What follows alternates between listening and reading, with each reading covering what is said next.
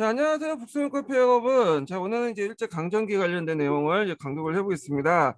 자, 일제 강점기 들어가기 전에 제가 이제 그 앞에 우리나라가 이제 어떻게 해서 어, 일본에 의해서 이제 식민지가 됐는가 어, 이런 걸 좀 얘기를 해드려, 해드려야 될 텐데 이때 이제 여러 가지 조약이 있었죠. 뭐 한일 유정사단지, 어, 제1차 한일 협약, 을사 조약, 어, 한일 신협약 어, 등등 이런 조약도 있는데 어, 예전에는 그냥 스쳐 지나가는 부분이었는데 어, 최근에 이 관련돼 갖고 문제가 나왔어. 아, 한일 유정사 관련돼 갖고 시험문이 나왔고 어, 한능검이나 이런 데서 좀 많이 언급돼 있긴 부분이기 때문에 이 부분을 좀 어, 읽고 넘어갈게요.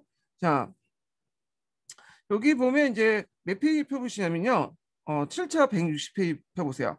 제가 뭐 7차 근현대사 천재교과서 뭐 이렇게 하면 좀 아, 그 너무 길어지니까 그냥 7차 피면 그 근현대사 천재 교과서 피시면 돼요.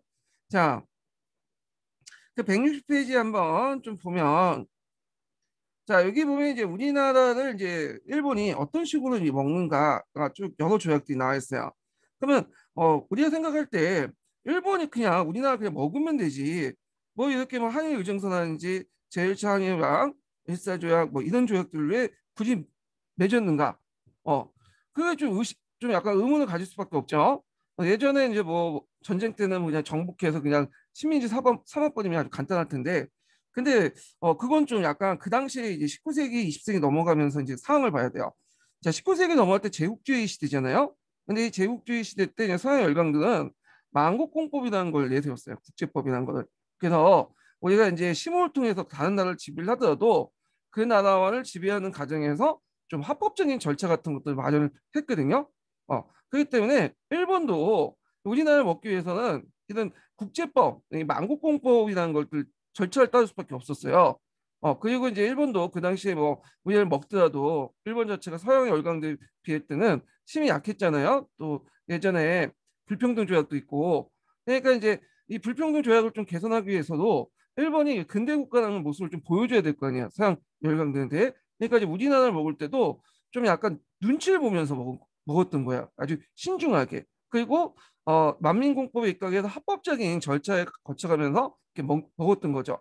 물론 이제 지금 이때 볼 때는 이제 거의 불법이지만 어, 형식적이라도 뭔가 한일 의정서만 맺고 뭐 의사 조약을 맺고 한일 심의학을 맺고 등등 해서 뭔가 적법적인 절차 과정이 필요했던 거죠. 그래야지 이제 어, 일본이 이제 자기들은 이제 근대 국가로 이제 어필할 수 있고 그리고 이걸 바탕으로 해갖고 자신들도 이제 서양 열강들과 맺었던 불평등 조약을 좀 개선할 수가 있어 있기 때문에 그랬던 거예요. 자, 그러면 어, 일본의 국권, 국권 침탈 과정을 이제 볼게요. 자, 여기 뭐 청일 전쟁하고 널 전쟁은 이제 요거는 각자 읽어보세요. 요거는 뭐 중국사하고도 가, 관련돼 있죠. 예, 요거는요 세계사하고. 자, 그러면 이제 일본이 어떤 조약들을 맺었는가 차단을 이제 보면요. 먼저 한일 의정서를 맺죠. 예, 한일 의정서 예전에 기출문제 나왔죠.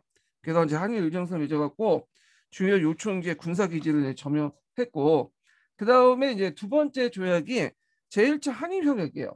예. 그래갖고 이제 요때 고문 정치가 하죠. 외교 고문하고 재정 고문을 파견하잖아요. 그 다음에 이제 을사 조약을 맺게 되는데 어, 미니맘은 이거 을사 조약이라고 요즘에 안 쓰다고 예. 을사 조약이라는 것은 이제 여러 가지 이제 그 대등한 나라끼리 합법적인 절차를 거쳐갖고 해야 되는데 그렇지 못하고 강제로 맺어진 거다. 을사라는 또 명칭도 없었다. 저에게. 그래갖고 이제 을사늑약 응. 이런 말을 이제 자주 쓰더라고요. 예, 저도 이제 늑약이라고 쓸게요. 그냥. 그 다음에 이제 한일 신협약이라고 있죠. 그래서 한일 신협약인데 이게 정미 7조약이라고요. 정미 7조약. 자, 정미 7조약 때 차관 정치가 행위죠. 어, 차관 정치. 자, 요때 이제 또 뭐냐면 예전에 한번 기초에 문제 나왔는데 요때 이제 뭐가 해당되죠? 군대가 해당돼. 군대가. 그래서 어, 정미 7조약 안에 명시되어 있지는 않았지만 거기에 이제 실조약을 맺을 때 같이 이면 그러니까 원래 비밀 조약으로 해갖고 군대 해상까지 들어가 있었어요. 예. 자, 하여튼 어 그래서 이제 이렇게 해서 이제 나름대로 이제 간슬게 다 빼고 그리고 나서 이제 사법권을 이제 박탈하죠. 예. 사법권을 박탈하고 그 다음에 경찰권마저 박탈하게 돼요. 예. 그래갖고 이제 어 하는데 아, 이렇게 있는데 이제 이 사법공 박탈과 관련돼서는 기후각서라고죠. 기후각서. 요거 여기 놨나 했는데 기후각서를 맺게 돼. 음. 자 그리고 어, 합방조약을 맺게 되죠. 예. 합방조약. 예, 이거는 이제 그 일본 애들이 이제 얘기하는 거고 우리 입장에 합방이 아니죠. 병탄이죠. 그래서 하해 합방이라는 말보다는 요즘에는 병탄이라는 말을 많이 써요. 병탄. 예. 병탄. 그래갖고 이제 있는데 어, 합방 또는 합병이라고 하는데 일본 애들은 합방조약, 합병 이런 말을 이제 쓰는데 어, 병탄이라는 말이 맞을 것 같아. 근데 요 관련된 명칭 관련된 내용도 어, 교과서에 나와 있으니까 그때 이제 다시 한번 더 설명을 해드릴게요. 자, 이런 일련의 걸, 절차를 통해서 이렇게 이제 맺게 되는데요. 그리고 이제 일본은 또 국제적인 승인을 또 받으려고 노력했어. 한반도를 지배하기 위해서.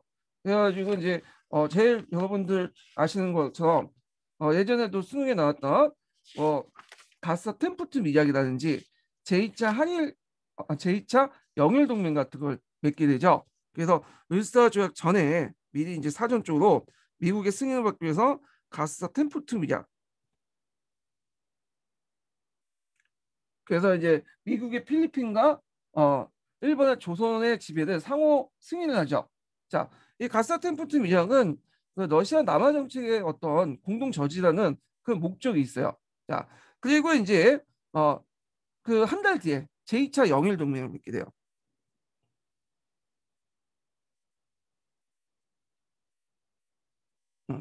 제1차 영일 동맹에 맺어서 어, 한국에서 일본, 인도에서 영국의 우위권을 인정을 하게 되죠. 예.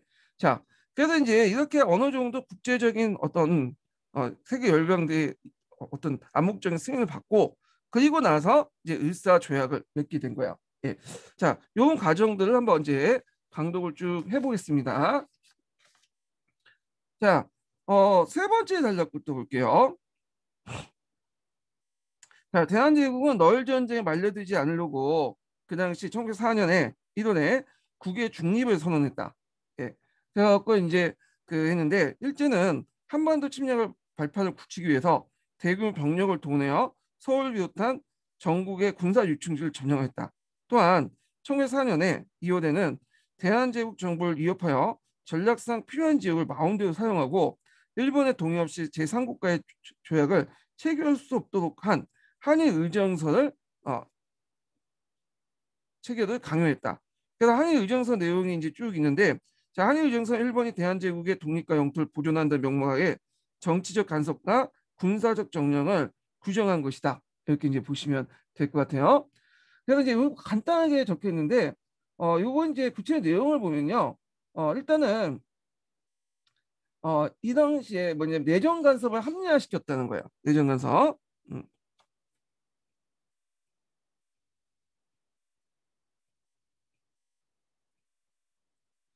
그래갖고 이제 그 당시 이제 어, 시정 개선이란 충고에 라는 이유로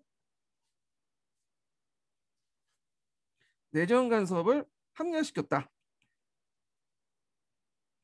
이렇게 이제 볼 수 있고 그 다음에 어, 어, 우리나라하고 다른 나라 간의 어떤 조약을 맺을 때 꼭 뭐냐면 삼국 그 누구의 허락을 받아야 돼? 일본의 허락을 받아야 돼.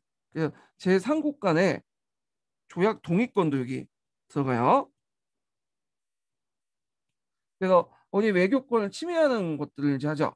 그 다음에 이제 제일 중요한 게 뭐냐면 전략상 중요한 요충지죠. 자, 요충지를 어, 이미 점령할 수 있도록 한 거야. 일본의 필요에 따라서 점령할 수 있는 이미 점령권을 가질 수 있었던 거죠. 예. 그래서 이제 이런 있는데, 자 이걸 이제 어, 점령이라는 이제 그 군사적 요충지를 이, 점령할 수 있는 명목으로 일본 애들이 이제 어, 자신의 경부선이나 경의선을 놓을 때 필요한 토지들 있죠. 이런 것들을 이제 뭐 그 강제로 점령하거나 그 다음에 이제 중요한 기지들 어, 이런 것들을 점령하게 되는데 특히 이제 대표적인 용산에 어, 한국 주차 군사용불 여기 설치를 해요. 그래서 여기에 이제 군사용불 이제 설치하고 어 그리고 어 그 일제강점기 초기 때도 용산에 거기 뭘 만들죠? 총독부를 만들어. 총독부는 나중에 이제 어 그 경복궁 앞으로 이제 바, 그, 옮겼지만 하여튼 이렇게 해서 이제 이렇게 이제 중요한 요충지를 장악을 했다 이렇게 기억을 해두시면 돼요. 그리고 요걸 근거로 해서 한국 정부에 항우지 개척권을 요구하죠. 근데 이건 앞에서 살펴, 살펴본 것처럼 보안의 반발 때문에 실패를 했잖아요. 예. 자, 그래서 이제 이렇게 이제 있고 그 다음에 계속 읽어볼게요. 자, 너일 전쟁의 정세가 유리해지자 1904년 8월에 일제는 한국 식민지의 방안을 확정하고 외교와 재정 분야에서 그들이 추천하는 외교 고문을 두는 어, 제1차 한미협약을 맺게 되죠. 예. 그래서 외교와 재정. 그래서 이제 외교 고문으로서 이제 온 사람은 이제 스티븐슨. 그다음에 재정 고문으로서 온 사람은 어, 메가타. 어, 이런 사람들 얘기하죠. 그래서 재정과 외교 고문을 둬서 어, 일본을 추천한 공을 파견해서 내정 간섭을 더 심화시켰다. 자, 그래서 이제 이렇게 해서 이제 메가다 같은 경우에는 이제 어 이런 이제 그 재정 고문도 맞지만 실제 자문력에 그치지 않고 실제 경제 정책에 관여하게 되죠. 그래서 메가다의 뭐 화폐 기업 그런 정책들을 이제 하게 되고 그리고 조약에 명시되어 있지 않지만 실제로 여기 밑에도 있겠지만 뭐 그 군부나 내부, 학부, 국내부 같은 주요 이제 군사 어떤 요충지에 주요 간서에 일본이 고문을 주죠. 그래서 얘는 군사 고문에는 노주를 이제 파견하고 예, 학부 공무원에는 시대하나 뭐 이런 사람들 이제 파견을 해. 자, 그래서 우리나라 내정을 완전히 장악을 했다. 이렇게 기억을 해주시면 될 것 같아요. 자, 그 다음에 이제 러일 전쟁의 승리한 후에 일제는 한국의 노골적인 식민지화 정책을 하게 되죠. 그래서 러일 전쟁을 할 때 이제 예전에도 시험 문제 나왔지만 무슨 조약을 맺었죠? 포츠머스 조약을 맺었죠. 포츠머스 조약. 이 포츠머스 조약은 누가 이제 뭐냐면 서, 중재를 한 거냐면 어, 미국이 중재한 거죠. 미국이 어, 중재를 해서 이제 포츠머스 군항에 어, 와서 러시, 러시아와 일본이 맺어진 조약이 포츠머스 조약이잖아요. 그 포츠머스 조약은 예전에 한번 중국사 관련돼 갖고 어, 나왔어. 2년 전에 그 동청철도 관련된 내용 있죠. 관련된 내용은 자세히 이제 그때 어, 얘기를 해드릴게요. 자, 그때 미국이 왜 포츠머스 조약을 중재를 했냐? 그것은 이제 러시아를 견제시키려는 그런 목적이었죠. 예. 그래서 어쨌든 러일 전쟁에서 승리한 일제는 그 미국과 영국, 러시아로부터 한국 지배의 어떤 배타적 지배권을 인정받게 되고 그리고 이 과정에서 아까쯤에 얘기한 것처럼 가스나 템프트 미작이라든지 제2차 영일 동맹을 맺게 돼요. 예. 자, 하여튼 이러면서 이제 어느 정도 국제적인 승인 하에 일제는 이제 1905년 12월 달에 한국을 보호국화는 시키는 일사 조약을 맺게 되는데 어 저는 이제 이걸 일사 늑약이라고 부르고 싶어요. 예. 일사 늑약. 자, 이 일, 일사늑약은 강제로 맺은 것이었죠. 그리고 조약이라는 것이 이제 그 당시 황제였던 순조 그 고종의 도장이 있어야 되는데 도장도 안 찍혀 있고 예, 그래서 여러 가지 절차상의 문제점이 있어. 강압적으로 이제 맺어진 거잖아요. 그래서 이제 이렇게 했는데 어, 뭐 울사 그 늑약을 또 다른 말로 제2차 한일협약이라고 또 해요.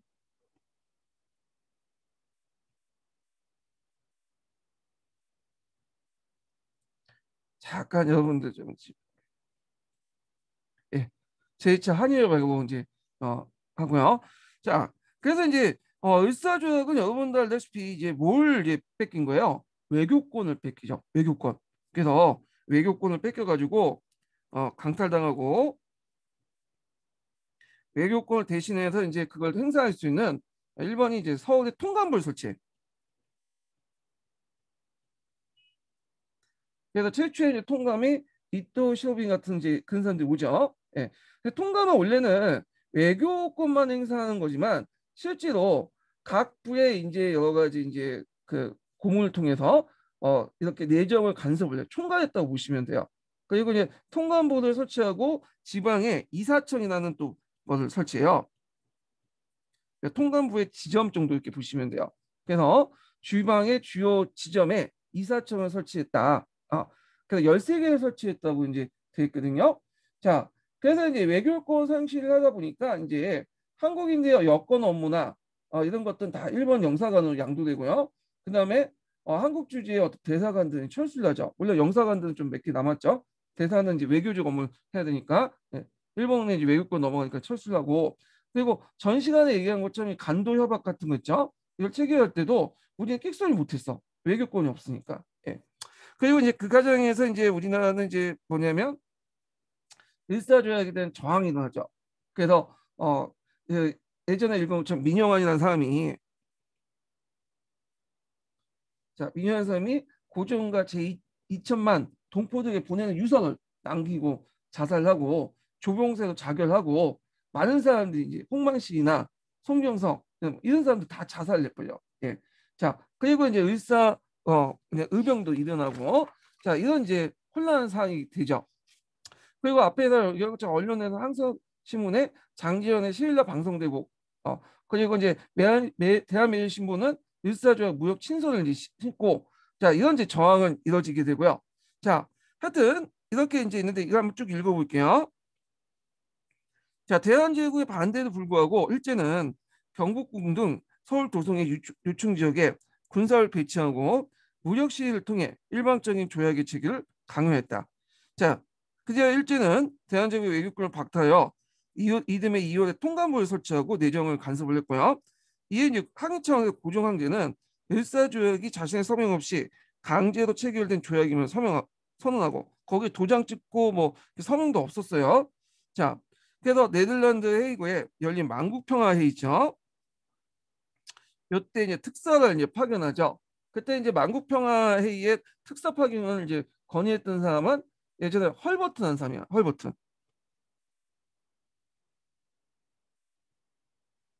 그리고 이제 헐버튼을 통해서 미국 정부에게 의사조약 무효 전문을 전달하지만 어, 그 당시 그 대통령 누즈베트였거든요. 그러니까 우리가 생각하는 그 뒤에 있는 그 대공황 때 어, 누즈베트가 아니라 어, 이 누즈베트인데 이 누즈베트는 거부해. 왜냐면 이 누즈베트가 어, 그 당시 일본하고 친했거든. 예. 그래서 어, 누즈베트 생각에서는 어, 적이 쳐도는데 주먹을 뻗치지 못한 한 방에 주먹이도 날리지 못한 나라는 그냥 망해도 된다. 뭐 그런 사, 사고 방식을 가지고 있었던 인물이에요. 자, 하여튼 헐버트의 국소도 받아보 어, 뭐냐면 저기 접수가 안 됐죠. 예. 자, 하여튼 이렇게 이제 이런 상황이었고요. 이건 예전에 한번 제가 얘기를 했고요. 자, 그래서 이제 국제사회에 널리 알리며 조약의 무를 거듭 밝혔다. 일제는 대규모 규모와 혁명 경찰을 파견한 을사조약에 반대한 의병, 예, 이거는 을사의병이죠. 을사병호의병. 자, 을사의병 등 한국 민족의 저항을 무자비하게 탄압을 했고 그 다음에 헤이그 특사 발견, 파견을 구실로 그 당시 고종 황제를 강제로 퇴시, 퇴시켰죠. 그래서 이제 순종이 되잖아요. 그리고 이제 1907년에 순종 황제의 동의 없이 한일 신협약을 맺게 돼요. 그러면서 정부 각 부에 차관을 주죠. 그래서 장관은 이제 한국인이지만 그 밑에 차관은 누구냐 일본인데야. 근데 실권은 누가 가지고 있냐면 일본 애들이 갖고 있어요. 일본 애들이. 어. 그래서 이제 고종의 강제 때에는 이제 정미의병의 또 어떤 배경이 되죠. 예, 이거 좀 기억을 해두시고요. 이때 이제 순종이 즉위하면서 순종도 자기가 이제 거기 즉위하는 거에서 반대를 했어요. 예, 그래서 웃긴 거는 고종의 퇴임식하고 순종의 즉위식, 즉위식에 고종과 순종은 참여하지 않았어. 소 싫어했기 때문에 그 일본의 조치에. 그래서 이제 하여튼 순종은 그때 이제 즉위하고 나서 강무 연호를 융의도 바뀌죠. 그리고 이제 고종은 이제 덕수궁에 이제 뭐냐 거의 유폐 생활을 하게 되고요. 그래서 이제 나중에 이제 어 그 원래 경호궁이었죠. 근데 경호궁의 궁호를 이제 어, 고종의 궁호를 덕수하고 해서 여기가 덕수궁으로 이제 어, 2층으로 불려지게 돼요. 자, 하여튼 이렇게 이제 한일신명을 맺게 되는데 자 여기 한일신명에서 좀 어, 더알 건 뭐냐면 입법권조차도 넘어갔다는 거야. 입법권. 그러니까 법을 만들 수 있는 권한을 어, 일본 통감이 갖게 된 거야. 일본 통감부가. 그래서 그 내용이 있어요. 한국 정부는 법률 제정과 주요 행정처분은 미리 통감에 승인을 얻는다. 그러니까 아무리 법을 통과시키려고 해도 통감이 마음에 들지 않으면 뭐야? 법이 통과되지 않아. 그러니까 실제 입법권은 누가 갖고 있었다. 그 당시. 예. 그 당시 일제가 통감부가 갖고 있었다. 이렇게 보시면 돼요. 자, 이 입법권은 이제 가졌기 때문에 앞에서 언급했던 뭐 여러 법률도 있죠. 그래서 사립학교등이나 그 다음에 뭐 신문지법 예. 그 다음에 학회정 등등등을 아, 보안법 같은 것들을 이제 뭐냐면 등등등을 공포할 수 있는 어떤 배경이 되죠. 예. 그리고 이제 앞에 언급한 것처럼 여기 명시하진 않았지만 그 비밀 조약을 또 맺게 돼요. 예. 그래갖고 강, 군대를 강제 해산을 하게 되죠. 그래서 이제 1907년에 강제 해산되면서 8월 1일 날 해산되면서 해상 군대들이 의병화되죠. 이게 정미의병의 또 배경이 되죠. 예. 그래서 이제 이렇게 이제 좀 보고요. 나아가 이제 통관부는 고종황제와 군대 해산에 반대하는 정부 대신들과 의병들을 무력으로 진압하고 방해지 없는 나라로 만들었다. 자, 그 일본은 이제 사법권과 경찰권을 차례차례 빼앗고 1910년 8월에 대한제국을 완전히 식민지하게 되죠. 예. 그래서 이제 그때 일본 애들이 이제 이거를 뭐라고 했냐면 한일 병합 조약이라고 했어. 한일 병합. 병합이라는 용어를 이때 썼죠. 병합. 이게 왜 병합이라는 용어를 썼냐면 보통 우리가 한일 합방이라고 하잖아요. 근데 이제 한일 합방이면 두 나라가 뭐냐면 자발적으로 1대1로 이렇게 통합되는 것처럼 이렇게 느끼잖아. 근데 일본이 아무리 생각해도 그건 아니거든. 왜냐면 일본이 한국을 그냥 그냥 먹었잖아요. 그렇다고 해서 이제 까놓고 그냥 병탄이라고 해버리면 좀 이것도 국제적 체면이나 이런 것들 좀안 안 쓰겠죠. 그러니까 이제 고심고심 하다가 어, 그 당시에 이제 병탄의 병가 합방의 합을 합쳐가지고 병합이라는 말 썼어요. 병합. 그러니까 병합이라는 말은 예전에 있었던 말이 아니라 일본 애들이 그때 이제 한 음, 병탄을 할 때 사용했던 말이야. 그래서 합방이라든지 병합이라든지 이런 말들은 좀 약간 어, 아, 쓰지 않는 게 좋을 것 같아. 그래서 요 최근에는 이런 거에 대해서 설명을 해놓은 교과서가 있더라고요. 예, 좀 이따 읽, 읽, 읽, 읽겠지만 자 하여튼 1910년 8월 29일 날 8월 22일 날 이제 병탄 그 병탄 조약을 맺고 어 1810, 1910년 8월 29일 날 공식적으로 그냥 한국과 그 다음에 일본이 통합이 돼버리죠. 예.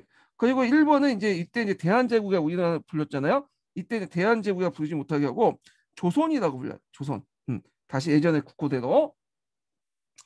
자, 하여튼 어 이렇게 이제 어 쭉 어, 병탄 과정을 한번 쭉 얘기를 해봤고요. 자, 그 다음에 관련된 미대인 교과서나 뭐 해당 교과서의 내용을 좀 볼게요. 자, 미대인 교과서 이제 펴보죠. 미대인 교과서는 어 이게 124페이지에 있더라고요. 124페이지. 그 좀 앞에 있어요. 구한말 부분에 붙어 있더라고요. 아유, 제가 잘못했네요.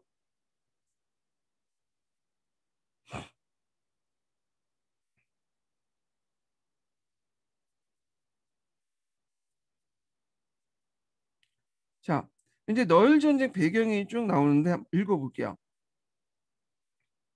자, 청일 전쟁 이후에 만주 한반도의 주도권을 차지하기 위해서 너일 간의 어떤 갈등이 고조되는 가운데 자, 양국은 자국의 이익을 보장받기 위해서 여러 차례 협상을 나섰다. 자, 하지만 이 이해관계 충돌로 결국에는 러시아와 이제 너일 협약이 그 뭐냐면 결렬됐죠. 그래서 고종은 이제 양국 간의 전원이 감두자 국외 중립을 선포해요. 음. 그래서 이제 대한제국은 1903년 11월에 1904년 1월에 국제사회에 대해서 전식 국외 중립을 선언하고 이들 영국, 프랑스, 독일, 이탈리아 청여부터 승인 등이 승인하였다 이렇게 돼 있죠.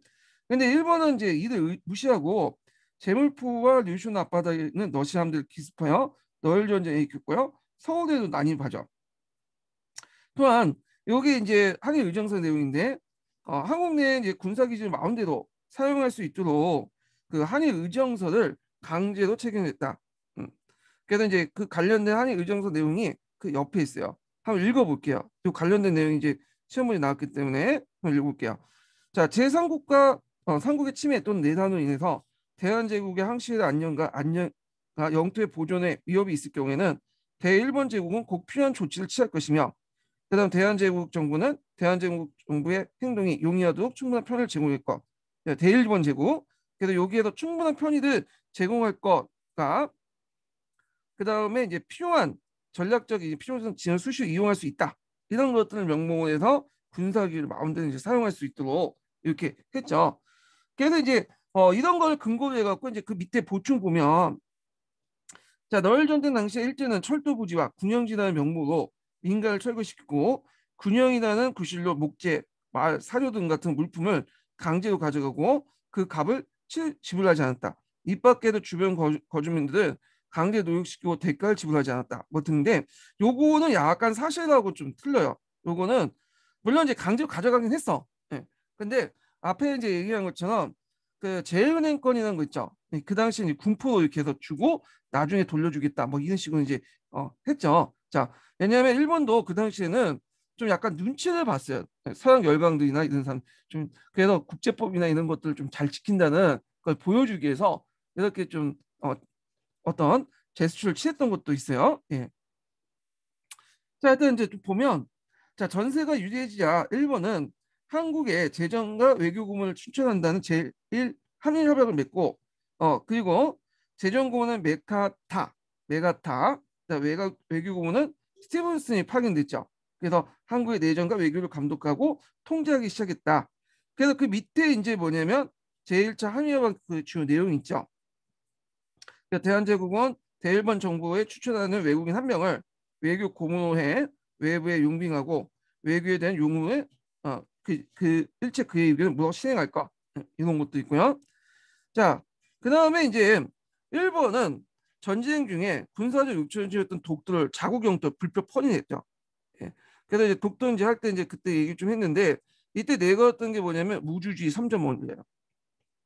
그래서 국제법에 의하면 사람이 살고 있지 않은 곳에 깃발 꽂으면 거기에 이제 그 땅은 어, 어 그쪽 깃발 뽑는 먼저 깃발 뽑는 사람이 인자다. 뭐 이런 것들 내세워가지고 편입을 시켰고요. 그 다음에 러시아의 발트한대를 동해안 결, 어, 격파하는 결정적인 승리를 어, 잡았다. 그래서 어, 이거는 뭐 한국사와 관련된 건 없지만 여기 그 여러 이제 뭐냐면 해전들 있잖아요. 그래서 이제 어, 가끔씩 영화에 보면 이제 일본의 유신 공격을 소재로 한 그 뭐냐면 영화도 있더라고요. 그래갖고 유신을 공격하는데 어, 러시아 군들이 거기에 방어진을 썼고 예, 맥신 기관총을 이제 했는데 일본 애들이 이제 하는 그런 그 돌격이 있죠. 제가 까먹었는데 그래서 이제 이 돌격을 막 하는 거야. 어 기관총 앞에. 근데 기관총 앞에 들고 가니까 그 한 개 여단이 싹쓸이 되는 그 무식하게 전쟁을 했죠. 결국에는 어, 일본 애들이 점령을 했겠는데 자 여기에서 러시아의 발트한 데를 격파한 거는 동해보다는 이제 여기 발트해가 스시마 쪽이에요. 대한해협 쪽이죠. 그래서 이걸 뭐 스시마 해전이라고 해요 보통. 이 발트 해전 함대는 영국 함대 다음이야. 어. 근데 이제 이 발트 함대 문제가 뭐냐면 북쪽 못 들어가죠. 그치 북쪽 북극으로. 그러니까 이쪽이 이제 돌아가야 되는데 어. 제 편한 방법이 어디로 돌아가는 거야. 예. 여기 이집트에는 그런 수에즈 운하를 통해서 가야 되잖아요. 근데 수에즈 운하는 영국 거였어요. 그러니까 영국은 영일 동맹이나 이런 비밀 조약을 통해서 아 이제 차단을 시켜버린 거야. 어. 그러니까 이제 발트한데는 그 수에즈 운하를 못 가고 아프리카 남단까지 쭉 도와가지고 도착한 거야. 그 정보도 영국이 다 알려줬어. 발트한데가 이제 거기가 아프리카 남단에 기억격해 갖고 공급이나 공급이라는 식수나는 이런 것들 제대로 공급을 받지 못한 상태에서 딱 여기에서 이제 있는데 거기 대한해협 스시마 쪽에 딱 기다리고 있다가 어, 이들을 격파를 해버린 거죠. 예. 그래갖고 이제 어, 발트한 데가 무너져 버린 거죠. 자, 하여튼 음, 그렇게 있고요. 그래서 이제 일단 발트함대로 동해에서 격파하고 곧 이어 이제 미국과 가사 템프턴 미약을 맺게 되죠. 그래서 요거는 예전에 시험 문제 나왔고 뭐 수능이나 한, 한근급에 잘 나오죠. 이게 모의분도 없죠. 예. 그래갖고 이제 어 일본의 그 외무장관 가스나와 국무장관 템프트 미국의 공장관 템프트가 비밀 연락을 맺죠. 이게 이제 어 나중에 이게 비밀 이그 조약이 해제돼 갖고 나중에 이제 밝혀지게 된 거죠. 자, 그래서 미국은 일, 필리핀 지배를 인정하는 대신에 그 대가로 어, 한국 지배를 인정받았다. 일본에.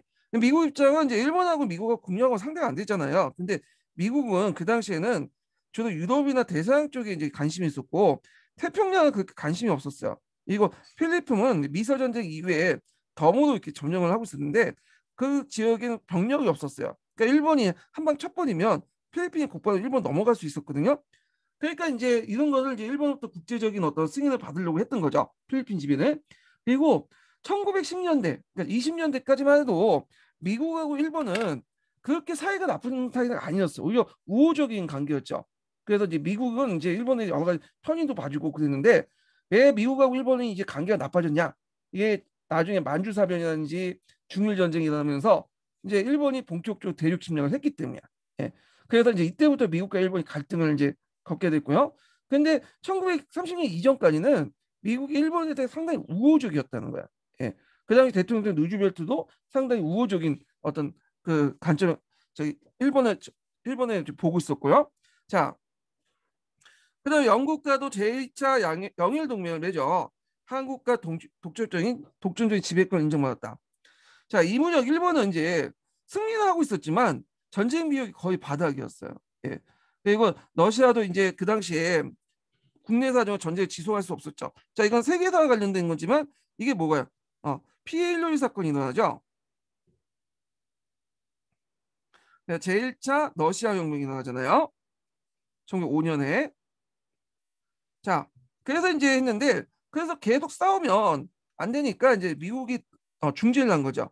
그래서 어, 미국이 중지해서 한국에서 일본의 특수권을 인정한 내용을 매년 포츠머스 조약을 맺었다. 예, 포츠머스 조약 있죠.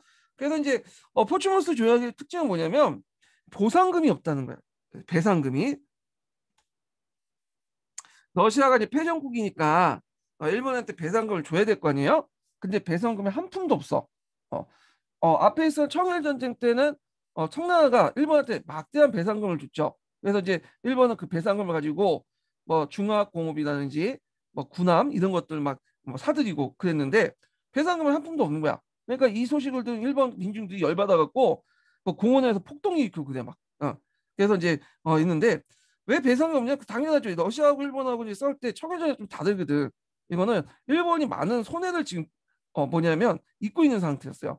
그래서 어 승리는 잡고 있었지만 막 이제 뭐냐면 그 일본 군인들이 많이 죽어 나가는 거야. 계속 전쟁했다가는 지겠다. 그러니까 빨리 여기에서 좀 우리가 이제 승기를 잡았으니까 우리가 승전국이라도 좀 타이틀 가지고 전쟁을 끝내야겠다. 그런 생각을 한 거죠. 또 일본의 목적은 배상금 자체보다는 러시아가 한반도에서 이제 손을 떼는 게 목적이겠죠. 예. 그리고 러시아도 가만히 생각해 보니까 아, 예전에는 좀 한반도가 주요 목적이 아니잖아요. 러시아 만주죠. 그러니까 이제 어 이걸 이제 뭐 그냥 손해 보니까 뛰게 되고 나중에 이제 러시아하고 일본 간에 또 비밀 협약을 맺게 돼요. 한 두세 번 거쳐서.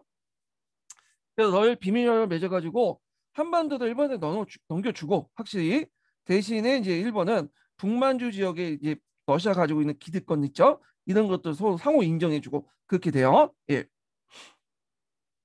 자 이렇게 해서 이제 일산 늑약을 이제 강요하는데 이제 조약이 늑약으로 바뀌었죠. 예.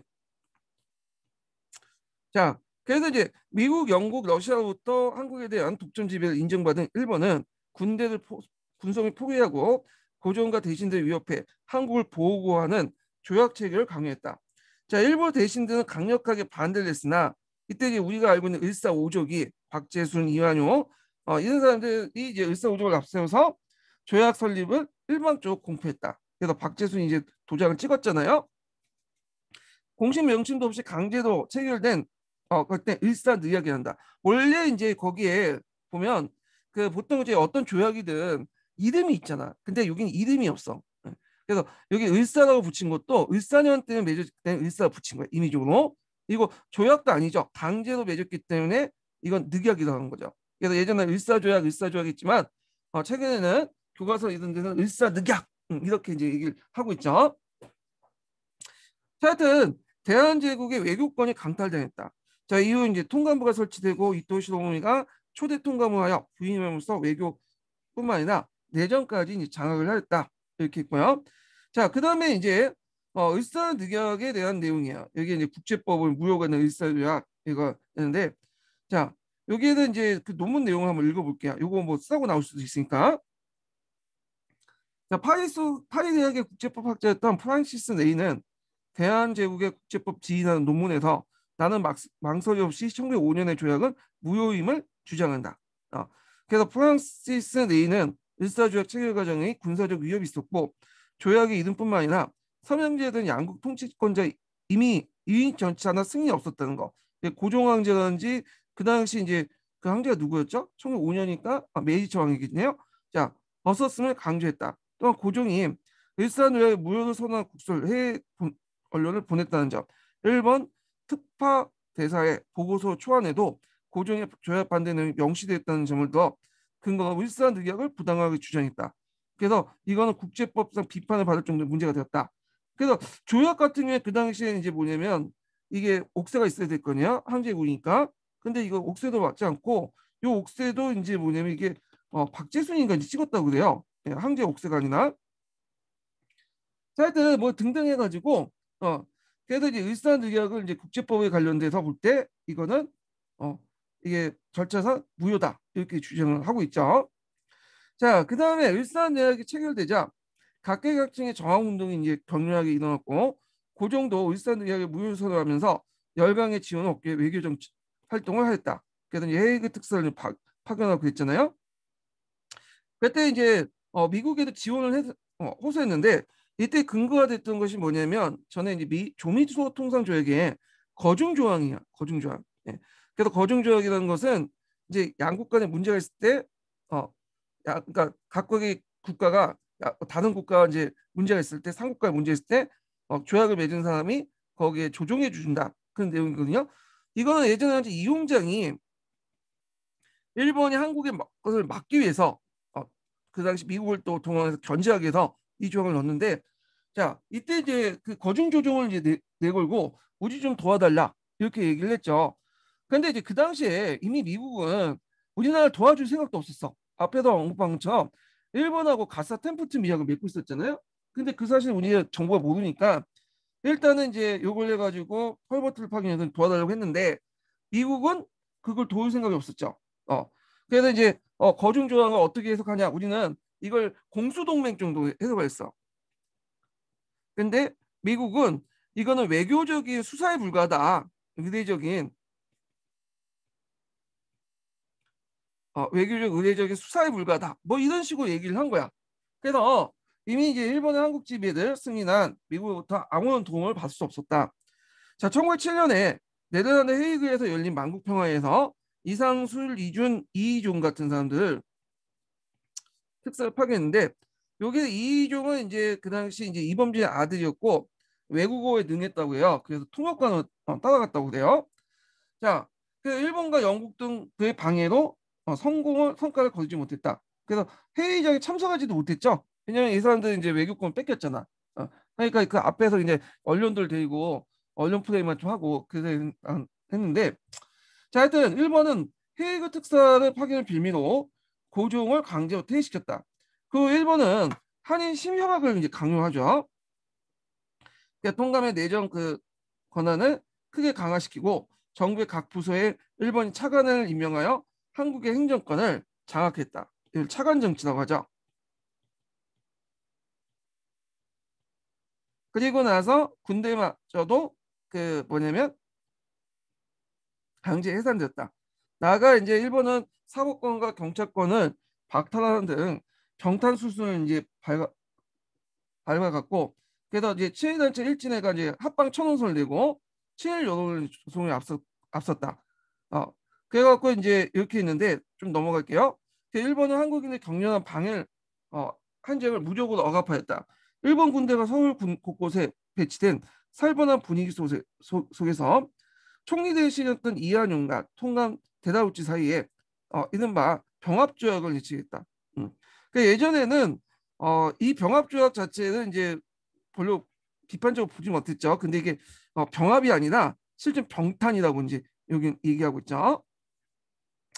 자, 이, 나라, 이 나라는 조약에서는 두 나라의 행복과 동양평화를 위해서 일본이 한국을 병합했다고 쓰여 있지만 실제 강압이한 병탄일 뿐이다. 자, 이처럼 대한제국의 멸망은 그 무적에 앞선 일제 침략과 그 원인이 있었고 그 있었다. 아울러 국내 정세 변화에 대응하여 국민통합과 국력 정지 증진을 도모하지 못한 집권층의 책임도 크다. 그 일제 그 한국 강제 점령은 한국인데 근대 국민 국가를 수입하는 기회를 빼앗, 빼앗 아 갖고 정당한 주권을 행사를 가로막았다. 따라서 이제 한국은 일제를 몰아내고 국민 주권을 바탕으로 새로운 국가를 건설해야 하는 과제를 어, 안게 되었다. 자, 근데 이 병합이라는 문제 그 용어의 문제점을 좀 지적을 했는데 이 밑에 이건 만들어진 용어 어, 용어가겠죠. 자 여기에서 이제 어 합방이라는 거, 합병이라는 말은 문제가 절제하지 않다는 거야. 병탄이라는 용어도 너무 침략적으로 사용할 수 없으니까 그 합병과 병탄을 먼저 따와가지고 병합이라는 말을 새롭게 만든 거죠. 이게 그러니까 일제는 한국 감정을 앞두고 강정 앞두고 침략성을 숨기면서 한국이 완전히 일본에 흡수되었다는 의미를 담긴 용어를 만들고자 했고 이때 병탄이라는 사실을 어, 맞지만 침략성이 잘 들어가기 때문에 고심 끝에 당시 일반적으로 쓰이지 않았던 합병이라는 말을 바꿔 병합이라는 용어를 쓰했다. 그래서 이 용어를 이제 고안한 구라치 어, 구라치는 그 당시 어, 국제 공법에서 조약 체결에 참여한 사람들에게 폭력과 위협을 가해졌을 때 본인의 의지라고 볼 수 없기 때문에 조약은 결국 유, 유효하지 않는다고 썼다. 자, 하여튼 이처럼 폭력과 위협에 의한 조약 체계 위법성을 잘 알고 있으면서 일제는 침략성 위해서 새로운 용어를 고안했다. 네. 그래서 이제 병합인데 뭐 여기에서는 이제 병합을 거꾸로 썼기 때문에 병합이라고 이제 했는데 어 학자에 따라서 이제 병을 합과 병합의 의미는 병탄과 합방의 한 글자를 땄다는 설도 있어요. 예, 여기는 뭐 거꾸로 썼다 그런 설도 얘기했고요. 자, 하여튼 어떻게든 간에 병합은 그 당시에 있었던 말이 아니라 당시 일제 침략성을 숨기기 위해서 만들어진 용어였다. 이런 것도 좀 기억을 해두시면 좋을 것 같아요. 자, 그래서 이제 있고 그 다음에 한국 병합에 관한 조약에서 이제 이 조약의 문제점이 뭐냐? 이 조약의 문제점이 뭐냐면 어, 오른쪽 문서에서는 이상의 서명과 어세가 찍혀 있는데 왼쪽에서는 음, 제국왕제 비준서의 행정 결제만 사용된 어세만 찍고 순정의 서명, 서명이 없어. 그러니까 순정의 서명이 들어가 있으면 합법인데 어, 이 절차상 문제가 있다는 거죠. 예. 자, 그 다음에 이제 어, 해당 교과서를 한번 읽어볼게요. 해당의 126페이지. 뭐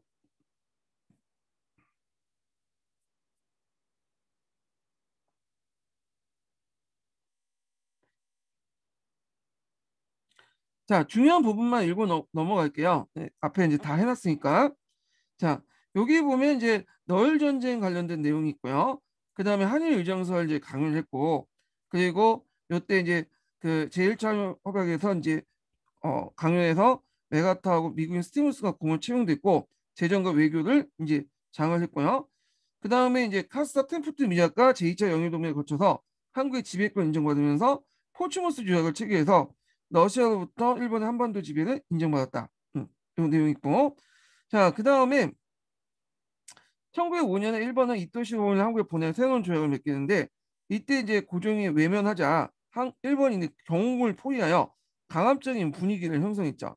경우 덕수궁이죠. 그래서 이토 시도부미는 고종이 참석하지 않는 어전에 의해서 일본군 사령관과 함께 당시 대신들에게 조약 체결을 강요했고요.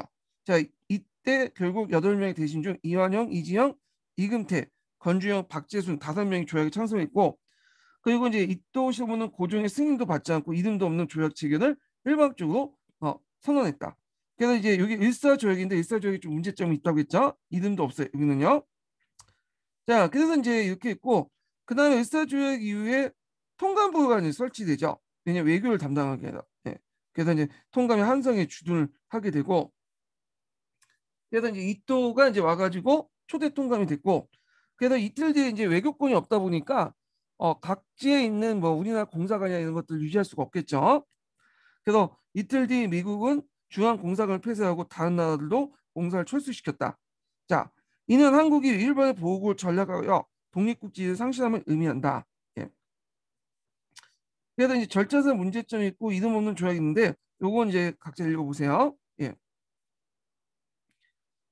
자, 그 다음에 일사조약에 저항한 사람들을 해갖고 어, 이상설 이주 이 해익을 안국평화했고 그 다음에 이제 헐버트를 이제 미국에 보냈다고 했죠. 그리고 그 당시 장지영이 한성신문에서 실력 방송대을 기고하여 울본을 이제 어, 터뜨렸고 민영왕은 이제 자결을 했어요. 예. 그래갖고 이제 그 자결한 내용들이 그 밑에 있는데 한번 읽어볼게요. 자, 민영왕은 그 자결이 낙담의 결과가 아니라 한국 일환임을 유서에 분명히 밝혔다. 영화는 죽어도 죽지 않고 저승에도 제공을 기어이 도우니 다행히 동포 형제들은 천만 배 더욱 분류하고 지기를 굳게 하여 학문에 심쓰며 한 마음의 힘을 다하여 우리의 자유 독립을 회복하며 하며 죽어서라도 마땅히 저 세상 기뻐하자. 그래서 민용왕은 이제 민실 쪽이고 이 사람도 매간 매직하고 나쁜 일도 많이 했고 급진 어, 개혁파들 탄압하고 그랬거든요. 그런데 이제 이때 자결 한번 했기 때문에 어, 뒤에 이제 끝이 좋았죠. 그러다 보니까 지금 이제 좋은 긍정적 이미지 많, 남게 돼요. 예. 자, 하여튼 이렇게 해서 이제 또 조약에 찬성했던 다섯 명의 대신에 을사오족이라고 해갖고 국민의 고족이 어, 공족이 됐고 나철 오기호는 자신 아, 나는 어, 오족 암살단을 조직하고 이들 처단하려고 했다. 그리고 국외에서도 의고가 일어나는데 요거 좀 기억을 해주세요. 장인한 정명훈이 미국 샌프란시스코에서 대한제국 외교 공무원사 공무원했던 스티븐슨을 어, 사살했어. 그래서 그때 이제 이걸 계기로 해갖고 그 당시 미주 단체들이 이제 분열돼 있었거든요. 예, 예 공유협회나 이제 이런 등등등의 여러 단체 분열돼 있었는데 요때 대한인 국민회가 통합 단체가 나타나죠. 예, 그래서 대한인 국민회라는 통합 단체가 나, 타났던 배경이 되기도 해요. 자, 그래서 이제 안중근은 또 만주 하얼빈에서 을사 조약을 체결한 주도 주한 어 이토 신호본인을 처단을 했고요. 그래서 이제 그 밑에 보면 이제 어 내가 이토를 쓴 이유 해가지고 이토를 쏜 이유 해갖고 있죠. 그래서 이 사람은 이제 안중근은 그 사형 선고를 받고 그 5개 감옥소에서 동양평화론을 집필해요. 근데 완성하지 못했죠. 그래서 동양평화론은 이제 내용은 서양의 침략에 앞서서 한중의 삼국이 서로 힘을 합쳐서 통양의 평화를 지켜야 된다.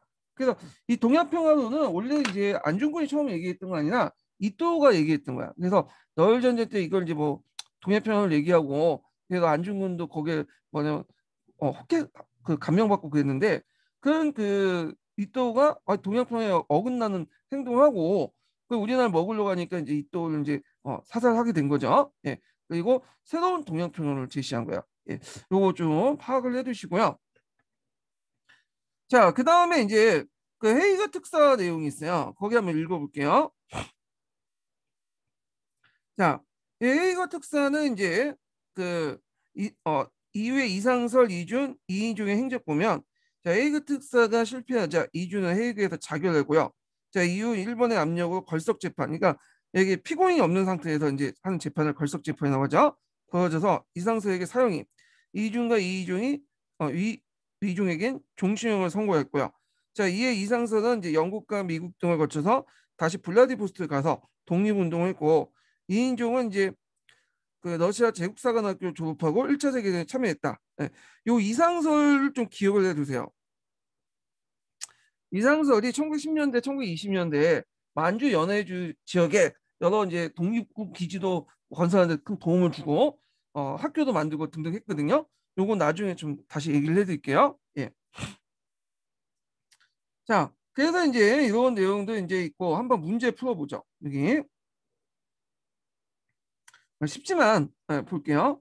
자, 1905년에 이토 시로부미가 통감이 대한제국의 외교권을 대신해서 행사해서 을사조약을 체결 강요했고 그 다음에 이제 고종이 일사조약의 부당성을 세계 알리기 위해서 3인의 특사 회의거 만국평화회의를 파견했다. 그 다음에 일사 오족 가운데 조약을 체결한 이제 알려진 이한용을 습격해서 중상을 입힌 사람은 이재명이죠. 이재명. 예. 요건 나오면 이제 못 쓴 사람들이 좀 있을 것 같은 같은 느낌이 들어요. 예. 그다음 기획과 디귿에 들어갈 내용을 어, 써보자. 자, 요거는 미국은 일본에 대한 제국 보호를 확립한 것이며 어일 전쟁의 논리적 기결이며 급등평화 이바지를 인정한다. 자, 이거는 가사 테프론 미학에 관련된 내용이고 그 다음에 제2차 영일 동맹이 있고 여기 이제 포츠모스 조약인데 여기 내용 보면 러시아는 일본이 한국에서 정치상, 군사상, 경제적 이, 타고난 이권을 가, 갖는다는 걸 인정하고 일본 정부가 한국에서 필요하다고 인정하는 지도 보호 및 감리 조치를 어, 조치를 위해서 이를 저지하거나 감사하지 않을 걸 약정한다. 그래서 러시아가 이제 포츠모스 조약을 통해서 일본의 어떤 한국 지배를 인정하게 되죠. 예. 자 이렇게 이제 한번 봤고 그 다음에 이제 다음 넘어가죠. 예.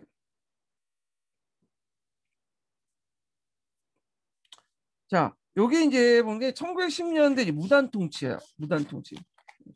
그래서 요게 이제 구성이 어 좀 약간 그런 게 있어요. 그 15년 개정 교육 과정은 주제별로 돼 있지 않고 연대별로 이렇게 돼 있더라고요. 그래서 예전에는 이제 일제 시민 통치 먼저 쭉 설명하고 나서 그 다음에 어, 한일 독립운동 이렇게 설명하고 뭐 사회경제사 이렇게 됐고 분야 주제별로 나눠가고 했는데 여기에서 뭐 1910년대 쭉 설명하고 그 다음에 20년대 쭉 설명하고 30년대 쭉 설명하고 3, 40년대 이런 식으로 이제 시간소로 때 연대기적으로 이렇게 조직돼 있더라고. 그래서 약간 이제 7차 그 하고 맞지가 않아. 네. 어, 그래서 이제 제가 이제 일단 7차를 쭉 하면서 그 해남 교과서나 뭐 미래행 15년 개정 교과서 관련된 내용들을 쭉 얘기하면서 이제 어, 같이 이제 쪽수 찾아가면서 할게요.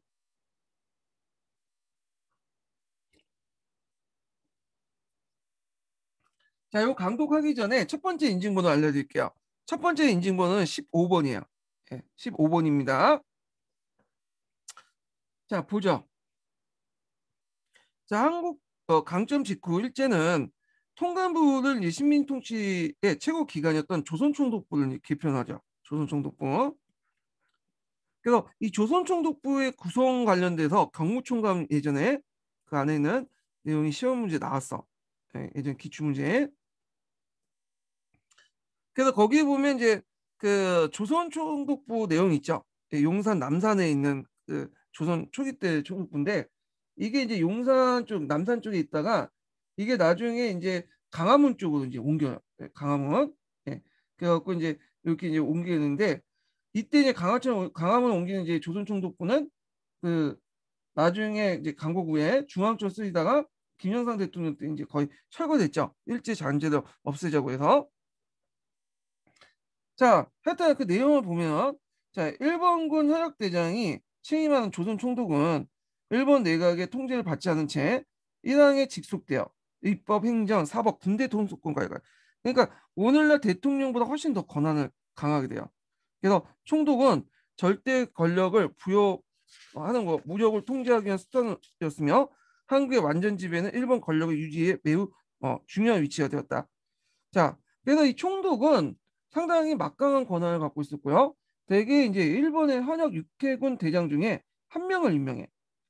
어, 그래서 이제 어, 일본 왕이 직속돼 있고, 그 다음에 일본의 내각 어, 총리 대신이나 어, 동격이고, 네, 일본 내각의 통제를 받지 않아요. 그러니까 일본 왕이 직속되고 일본 왕이 명령만 받는다는 거는 견제가 없다는 거예요. 솔직히 일본 그 청왕이 관심 있겠어 조선 문제 하나하나. 그러니까 자기 멋대로 하는 거죠. 예. 일본도 한때 이제 뭐 그 어, 대장이 아니라 육해군 대장이 아니라 뭐 문관을 이제 파견하겠다 했지만 실제 파견되지 않았죠.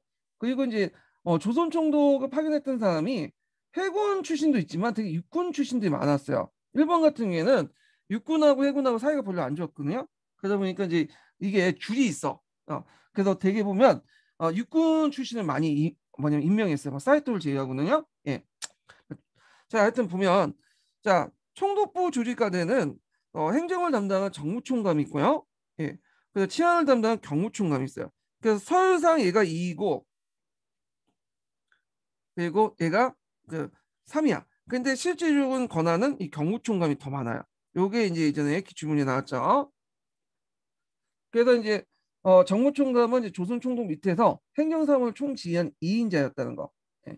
그래서 이제 그, 그 안에 이제 정무총감 안에 5부가 있어요. 예, 5부. 그, 그 밑에 이제 쭉 어, 있는데 자 하여튼 그 5부가 있고 농산공부, 사법부, 총무부, 내무부, 탁지부 이렇게 있는데 좀 눈여겨볼 게 뭐냐면 사법부가 행정부 밑에 들어가 있어. 독립돼 있지 않고. 그 다음에 경무총장 같은 경우에는 경찰 업무를 보거나 총괄하거나 치안을 담당하거나 그다음 조선주둔 형병사령관을 겸임하거나 실권은 그 앞에 있는 정무총장보다 훨씬 더 많다. 음. 그리고 자문기관으로서 중추원을 뒀죠. 이 중추원은 뭐 고조시대도 나오고 뭐 조선시대도 나오고 일제 강점기 때도 나오는데 약간 의 성격과 기능이 달라요. 예. 그래서 이제 이들은 이제 그 한국인 관료들을 참여시키는데 되게 친일파들을 이제 참여시켰죠. 예. 근데 실제 거의 10년 동안 소집이 안 됐어. 형식적인 기구라고 보시면 돼요. 그래서 대개 중추원의 위장은 정무총감이 겸임하고요. 거기에 이제 참여한 사람을 고문이니 참이라고 했거든요. 중축은 고문, 뭐 참이.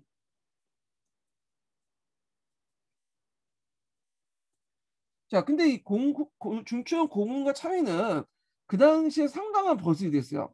예. 왜냐면 한국인들은 이제 특별한 이제 간직이 없잖아요. 그 당시에는. 그러다 보니까 대개 보면 이 고문, 참이, 일본인 귀족 자기, 자기 있죠. 남자, 공작, 이런 자기들 한 자리 얻으면 상당히 뭐냐면 그 한국 사회에서는 성망의 대상이 됐어. 예. 자, 하여튼 되게 이제 형식적인 기구고 한국인들의 어떤 정치 참여와 해외 수출에 위한 대선 전쟁이라고 보시면 돼요. 그래서 이제 어, 3.1 운동까지 한 번도 소집되지 않았고요. 그 후에 이제 소집됐더라도 주로 이제 뭐냐 한국인의 운명과 관계없는 간습조사 뭐 이런 거 있죠. 이런 것들을 했던 기간이었다. 이렇게 기억을 해두시면 돼요. 자, 그래서 그 밑에 중추원인데 자, 일제시대 때 총독부 자문기관으로서 한일합방의 공로로 일본 정부부터 자기들 받은 자나 친일 정객, 유력 인사들 끌어져 중추원 명예직을 어, 주었다. 자, 그 내용을 볼게요. 이제 총독부 이제 어, 조직 내용을 보면 자, 일제는 국권 강탈 후 신민 통치 기관으로서 조선 총독부를 설치했고 조선 총독부는 일본 간진의 최고 간직으로서 내각 총리 대신과 동격이며 청왕에게 지속 어, 직속되었다. 그리고 조선 총독부는 중앙에 총무, 내무, 탁지, 농산부, 사법부와 지방의 도부 군면의 행정 조직 및 철도국 통신국 세관 임시 토지 조사국 등 경제 침탈의 기구를 가지고 있었다. 한편 일본은 조선 귀정령을 이제 제정해서 왕족과 이현을 비롯한 매국 귀족들 관료들에게 자기를 줬어요. 뭐 공작이니 뭐 자작이니 이런 것들을 은사금도 주었고 신민 통치에 이용했고 그리고 소수의 친일적 관리는 제한 대부분 대한제국 관리들 파면했다. 그래서 조선인 관리들은 지방의 하급 가층을 배정인데 대개 보면 이제 그 군수 있죠. 군수들도 이제 일본인 군수들이 많은데 가끔마다 한국인 군수들이 있었어요. 왜냐하면 이제 그 일본에 가서 뭐 고등고시에 합격해가지고 한국인의 파, 어, 한국에 파견돼서 군수가 된 사람도 있었거든요. 근데 어, 이런 사람들은 이제 되게 보면 이제 밑에 부군수가 있는데 부군수가 일본이었어. 네. 그래갖고 실, 실권은 없었고 그래서 한국인들이 좀 가질 수 있는 그래도 실권이 있는 사람들이 되게 면장 정도. 어. 왜냐하면 일본 애들이 이제 우리나라 그를 지배할 때 면을 단위로 해서 지배를 했거든요. 근데 어, 일제 시대 때 면장 정도 했다면 거의 친일파고 보시면 돼요. 이 사람들은. 자, 하여튼 어, 조선인간에는 지방의 하급가층에 배, 배, 어, 배치되었으며 송궁주 같은 매국 어, 같은 매국노는 총독부 자문기관인 중추원 위관에 임명되었다. 그러니까 신민이 지배에 앞잡이 노를 하도록 했다. 그리고 민족 문화의 독립 문화와 독립운동에 대한 대대적인 탄압을 나섰다. 이렇게 보시면 되고요. 요게 이제 사법기구와 관련된 내용이 없는데 좀 이걸 보충을 하면 이 사법기구가 독립되지 않았다고 했죠. 여기 보시면 이게 조선총독부 아래 밑에 있어. 예. 그래서 조선총독부 아래 경무총관 그 밑에 어, 이렇게 있는데 그래서 이제 이 사법부가 독립되지 않는데 그 유럽의 어떤 삼심제는 그대 도입을 했어요. 어, 그래갖고 삼심제를 운영했다. 그래서 이제 지방병원 있고 복식병원 있고 그 다음에 고등보험 이렇게 이제 있어요. 예. 근데 이제 여기에서 이제 문제점이 뭐냐면 외형적으로 이제 근대적 사법 시스템을 이제 어 들어왔죠. 근데 문제는 이런 근대적 사법 시스템, 시스템을 유지하려면 뭐가 필요해요? 일단 어, 뭐 외형적인 건물, 뭐 재판소 이런 걸 제외하고 어, 필요한 인물이 뭐예요? 그 저기 그 지, 지휘가 네, 필요한 지휘가 판사, 검사죠. 예. 그리고 경찰도 있어야 되겠죠. 그래서 보통 이제 경찰은 수사권을 가지잖아. 얘네들은 검사는 뭘 갖고 있죠? 기소권을 갖고 있죠. 어, 판사 이제 수사를 하면 건너와서 판사는 재판을 하죠. 이런 시스템이잖아요. 근데 어, 이 판사와 검사는 뭐냐면 돈이 많이 들어가. 일단 지금도 있지만 판검사들에게 월급 많이 줘야 되잖아. 근데 건, 경찰은 쉽게 뭐냐면 낮은 돈으로 이용할 수가 있겠죠. 근데 그 당시에 이제 그 식민지 지배의 원칙 중에 하나가 예전에 한번 얘기했지만 가성비를 되게 따졌거든요. 일제들이 적은 비용을 들어가지고 높은 효율성을 추구하는 애들이야.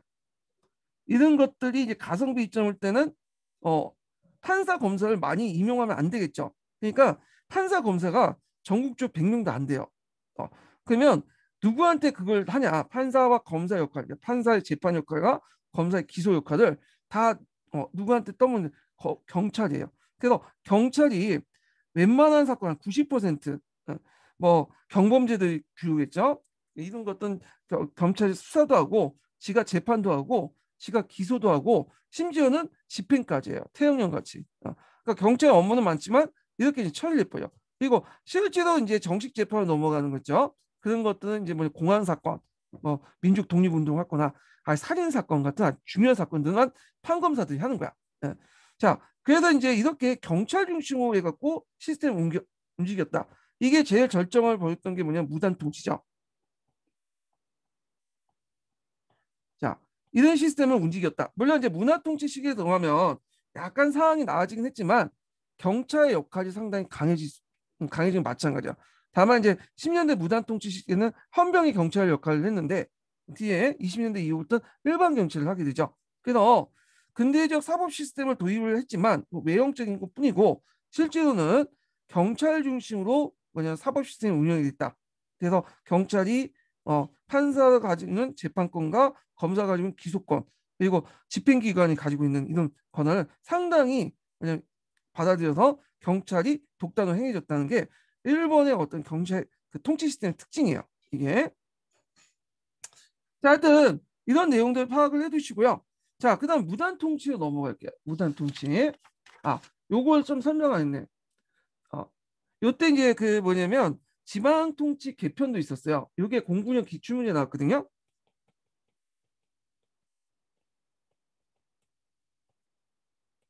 개편이 공군형 기출문제 나왔는데 이때 1910년대에 있었던 거예요. 1910년대. 그런데 두 번에 거쳐서 이제 했다고 보면 돼요. 그래서 어 1917년, 1914년, 1914년하고 1917년 때 있는데 이거 왜 얘기하냐면 예전에 시험 문제 나왔기 때문에요. 예, 그래갖고 어, 많은 군과 면들 통합을 해버렸어. 이 두 번에 걸쳐 갖고 그래갖고 13도 그 다음에 12부 그 다음에 317군 이렇게 정비가 됐죠. 그래서 부가 있다는 건 이건 일본인들이 많이 산 지역이에요. 부는 부를 자체가 이제 일본의 이제 행정 시스템이죠. 다니잖아요. 그리고 이렇게 군 밑에 뭐냐면 면을 뒀어요. 면을 최하 그 최하의 행정기구 설치해서 그 당시 이제 면장을 주로 친일파 임명해서 통치의 동반자로 삼았다. 예. 그래서 이제 이런 지방조직 개편 내용 그것 좀 기억을 해주세요. 이것도 공군의 기출문제 나왔기 때문에 나올 수가 있어요. 이 부분에 자, 그 다음에 이제 무단 통치로 넘어가죠. 무단 통치. 자, 무단 통치나 뭐 문화 통치라는 이런 만드는 우리가 얘기를 한 것이 아니라 일본인들이 그렇게 붙인 거야. 일제가 이제 그렇게 붙인 명칭이죠. 자, 이 무단 통치 때 이제 그 총독을 왔던 사람이 두 명 있죠. 데라우치 마시타케. 이 사람 원래 통감했다가 어 우리나라 정탐하면서 그 총독을 다시 재 임명된 사람이고 시세가와 요시미치라고 2대 총독이 있어요. 예. 그래서 이제 이 무단 통치가 실시되고 이제 한일 병탈이 되면서 앞에서 얘기한 좀 대한제국이라는 그 호칭은 조선이라고 계칭이 돼요. 예. 그래서 이제 일제가 이제 우리나라 지배할 때 어, 이제 대한제국이 하지 않았죠. 조선 조선 이렇게 얘기를 하잖아요.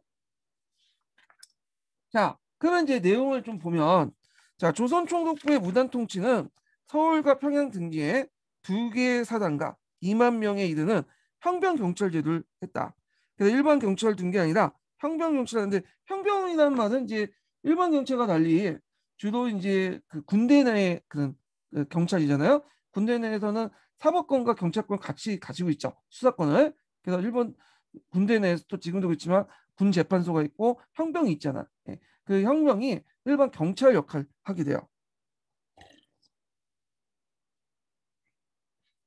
자, 그 이거는 이제 그럼 한병이 어떤 역할을 했냐? 어, 그 당시 여러 역할을 했어. 앞에서 얘기한 좀 사법 시스템 자체가 그 당시 이제 좀 기형적이었죠.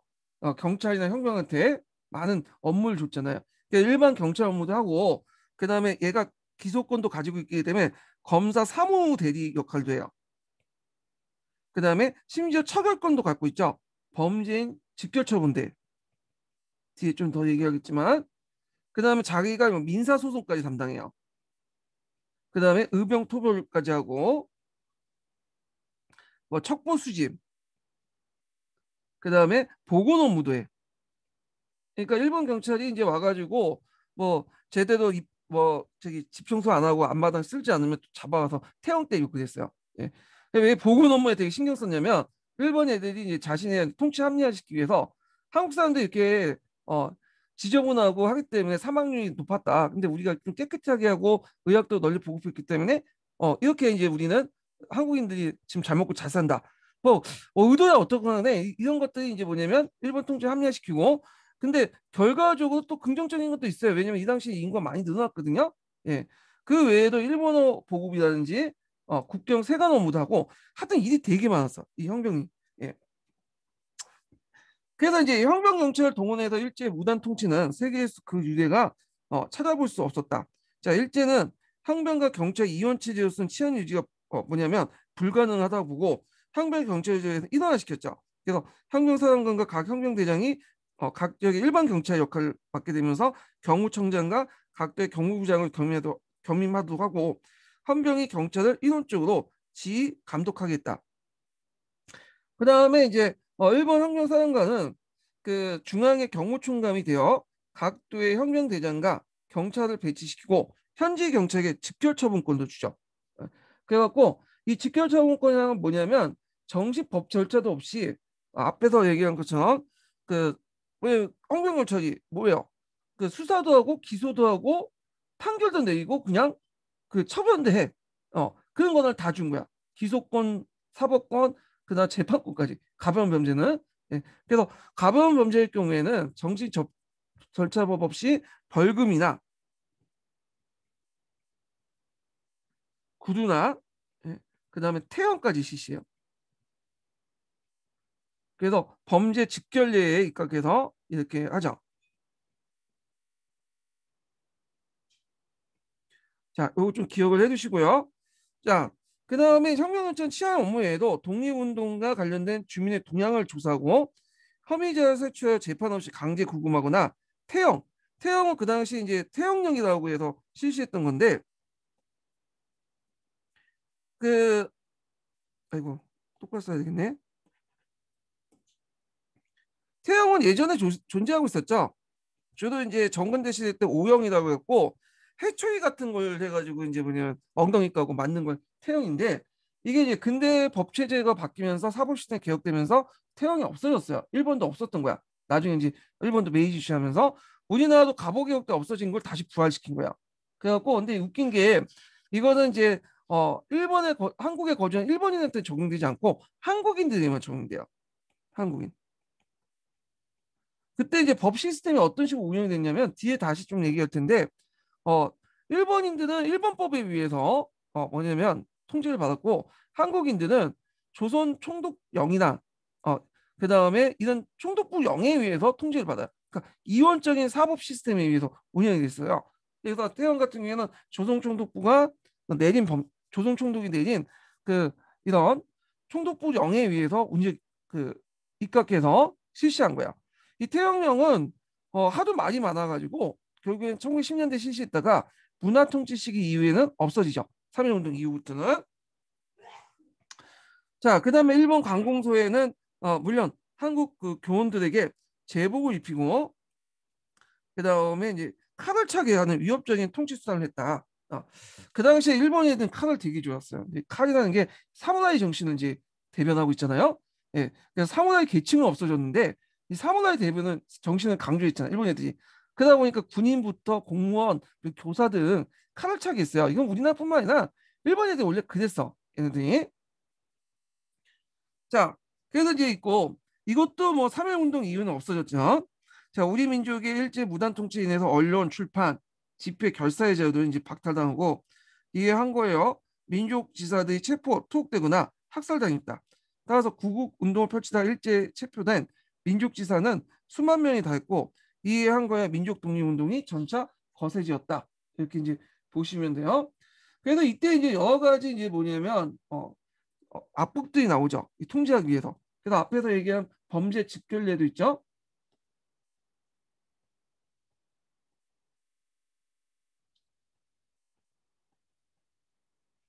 이 1910년에 만들었고 그 다음에 경찰범 어, 처벌 구칙이 있어요. 써야 되겠다.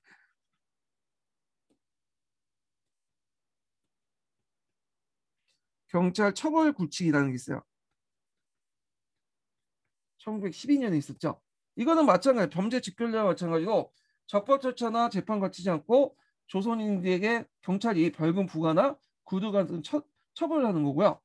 그 다음에 뭐 조선 형사령 같은 것도 있었어요.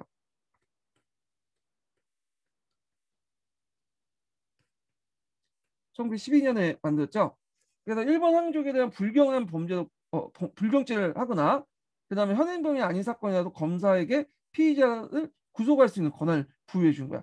그리고 제일 악법 중에 아까 말한 건 조선태형령이죠. 1912년에 있었죠.